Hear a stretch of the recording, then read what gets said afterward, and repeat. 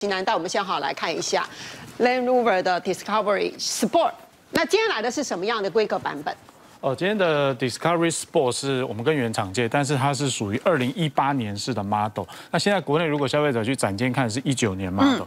那最主要简单的主要差异，当然售价，这个是两百零八万当，那现在也是二一九，差了十一万。那其实十几万，主要的配备是差在内装哦，新型的会更豪华，以及主安配备。嗯，那这台车只有基本的盲点，那其他主安 ACC 啦便宜就没有。二点零的汽油版本。对，现在其实到一九年，它已经把之前一八年的有一个 TD4 柴油已经取消了，现在是叫 SI Force 二点零的汽油涡轮增压，那动力其实非常不错，两百四十匹。是。那它的零到一百，它虽然是四轮传动哦，看它其实一千八百多公里，零到一百也有七点多秒的实力。嗯。那我们一向在看这个 Land Rover 的车的时候，我们都会觉得这种英伦风格是它就是属于那种。漂亮的线条，而且光是引擎盖这种棒式、棒壳式，对，我们就说很传统元素，它都有留着，对不对？对，其实 Discovery Sport 可能观众如果没有很了解这个时候，会一直以为它是不是 Discovery 的 Sport 版。比较运动化，其实一般车厂的逻辑是这样命名，但是？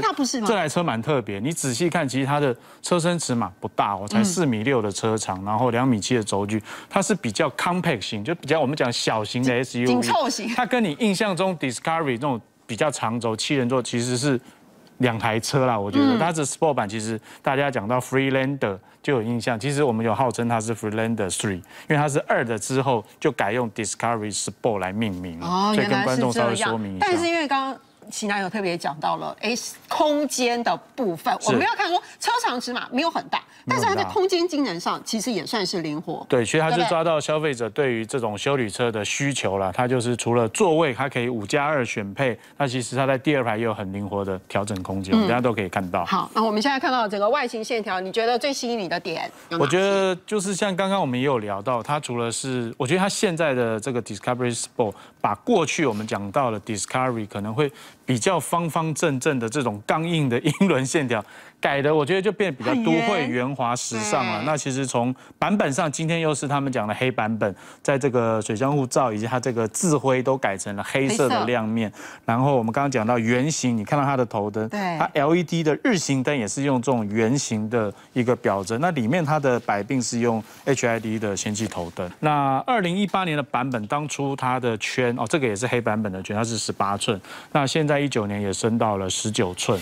那除了我们刚刚聊到经典。的元素，这种蚌壳式的引擎盖，像它这个刀把式的这个进气筒，也是它的侧面很重要的一个元素。嗯，那讲到了空间，刚刚有特别提到它后座的椅子的可调整性，对，我们就把后门打开，好，可以请钟仪看一下。我现在坐进去，对，它的移动的。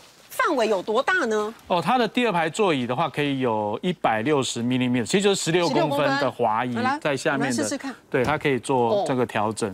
那它怕侧面的这个拉柄也可以做椅背的角度的调整。一样可以做调。对，那它这样的用意就是主要让你可以在你可能有时候不用载到满满五个人，或者你载三个人的也好，就可以用椅背再做更大的收纳，跟行李箱一起搭的使用。对，然后呢，你会看到说，哎，中间没有独立出风口，不是的，因为它的出风口是。两边的 A 柱都有，对 B 柱上面这里，对不对？好，那因为台湾是可以选配第三排，对五加二的，有这样需求的车主多不多？哦，其实我本来蛮好奇，因为他车其实蛮紧凑。那我问了总代，大概有三分之一的国内的买家还会去加价选配五加二。我觉得这个概念应该就是因为我自己就开七人座 MPV，真的有时候用不到会觉得很浪费。我想可能或是像小安迪啦，小朋友比较小。根本不需要用这么大身材的第三排，就会有这种五加二。是，我觉得这三分之一就是这样的车主需求。但保持这个弹性，显然车主也蛮喜欢。是，好，好，继续我们再来看车尾的部分。好，车尾，其实我们刚刚看到这个吸柱，我觉得也是它的一个特别，它是像往前的一个勾勒的线条，嗯，然后搭配它的黑车顶就很流线感。对。那车尾的部分看到一样，灯也是圆形的对，圆形的 LED 的尾灯条，然后 Discovery 也是用黑色的版本的字样，那它也它有一个 Sport 的智慧，让你知道它其实是哦另外一个车系。那其实我们看这样的修理车，我们看一下它的行李箱空间表现。好。如果假设真的去选配了第三排，也就是再多加两座的话，当然可能行李空间会对，我记得数据好像一百九十多公升，两百以内其实很小，很小。对，当然就是应急用载人。那今天五人标准座的状况，其实看得出来蛮大的，是九百八十多公升的行李箱容量。那如果你真的就两个人出游，第二排也整个收掉以后，其实它可以扩充到非常大，快接近一千哦八百多公升左右。嗯，好，我们看到空间机能的部分啊，再来进车内看质感。现在我刚刚在上车的时候就有发现，它的椅子。有蛮特别的织纹，这是有效果的，是不是？对，其实我们是我们讲，就是它是所谓的布皮混合的。那其实刚刚指滑的效果，就是在我们一般做的臀部、背部，它用这种有这种纹路的，让你稍微在可能开快或是哦做一些越野的时候，让你的人会有更稳定的效果。所以因为它是。布跟皮，对不对？所以这种压纹就会让你可以止滑，是的，包括背部，包括坐垫的部分。那这样还其实你看到它侧面的也有一些电动调整，前面两张，因为它这个车有 S 一版本跟 HS 一，其实以今天 S 一版本来说，它都已经有电控调整，对，它不用到最高规就有了。对，好好，继续我们再来看，因为刚刚呢看到它整个侧边线条，我们在讲说啊，其实 Discovery 一向越野的。性能那个底子是没话说的。对，其实它的底子最重要。这台车我们看到，我们刚有聊，它其实属于这种比较 compact 的 SUV。那其实坐进来你会感受到，除了我们刚刚讲的外观的哦这种传承的元素，进来有没有觉得它跟那个 Range Rover 其实车系也是神韵蛮像，就是这种横式水平的仪表，然后这两道金属的这个中控下来，对整个的氛围，它就是。我们讲的垂直水平对，就是就让你在越野的时候有很好的一个判位的这样的视觉辅助。那像钟怡刚刚聊到的这个越野功能，那他们原厂叫做 Terrain Response，就是这一条的功能。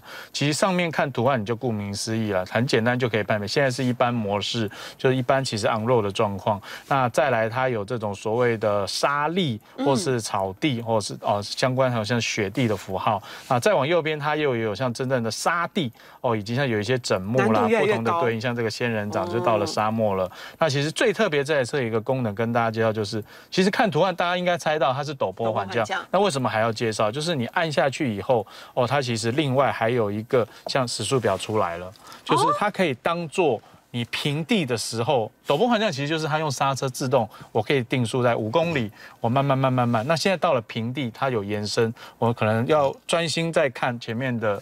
恶劣的一些落石啦，或是泥泞路况，你就控制方向就好，或是刹车，但你就把油门就完全放掉，让这个定速的陡坡缓降做一个延伸。所以它的陡坡缓降可以延伸到平面路面。是是这台车的功能。真的哈，我们一般比较少看到这样的。对，比较少看到。哦。那它这个全地形的对应，其实基本上 Sport 版它不像老大哥 Discovery 可能加上了气压悬吊，会让你做更中高度的重度越野。